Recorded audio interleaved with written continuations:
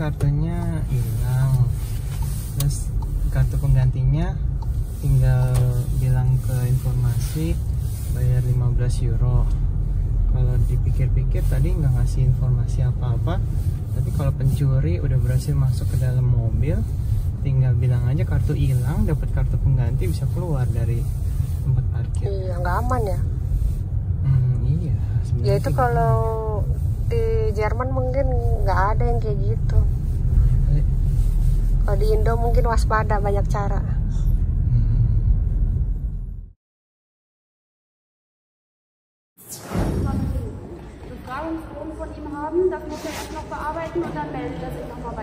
Ah, okay.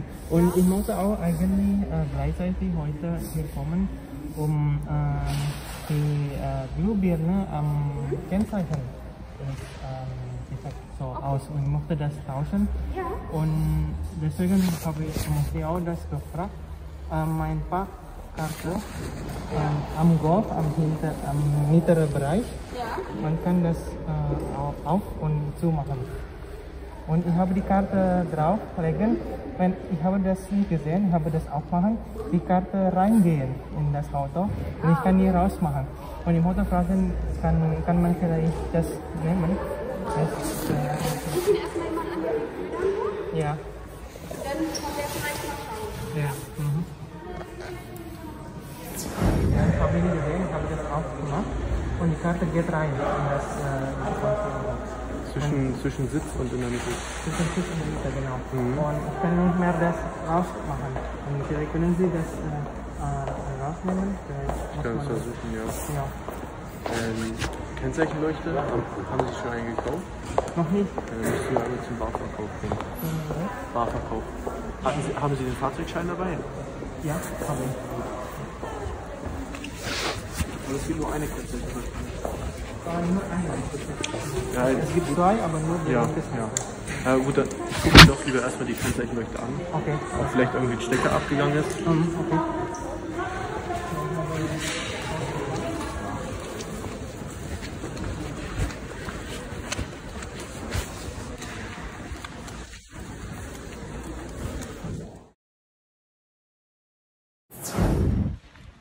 ke bengkel buka eh apa tuh mau ngambil kartu yang keselip di tengah-tengah Eh, dia nggak tahu harganya. Jadi eh, tunggu melakukan dulu baru dia bisa kasih harga gitu kan. Nah kita kan nggak mau. Itu kan 15 kartu eh, tebusannya. Kalau ternyata lebih ya enggak tapi pasti tanya kemungkinan bisa lebih dari 15 euro ya udah kita nggak jadi. Nggak jadi ngambil kartunya dari yang dari dalam mobil. Jadi biarin aja jadi gini teman-teman kartunya itu ditaruh di sini. Kartunya itu kayak sebesar ATM atau setipis ATM terus masuk gini nih kegeser dia masuk ke lubang di sini nih tuh. Terus masuk udah nggak tahu gimana bukanya ada di dalam harus dibongkar. Tuh melayang 15 euro ganti. Sedih banget lumayan 15 euro gara-gara masuk ke sini. Uh teman-teman cukup sekian vlog hari ini. Gue curhat tentang eh, kartu parkir mall yang hilang di Jerman harus gimana? Ternyata harus ditebus 15 euro. Em, terus kalaupun eh, kartunya bisa kembali bisa ditebus lagi di mall. Eh, tapi harus dalam satu hari itu nggak boleh lebih. Kalau lebih ya angus. Sedangkan kalau bongkar eh, biayanya lebih dari 15 euro ya kan? Kalau di bengkel sayang. Jadi ya daripada minus juga ya udahlah diterima. Masih tertelan kartunya di dalam apa nih namanya dalam mobil. Ya udah mau nggak mau. Relain pada sayang banget. Ya udah mau gimana?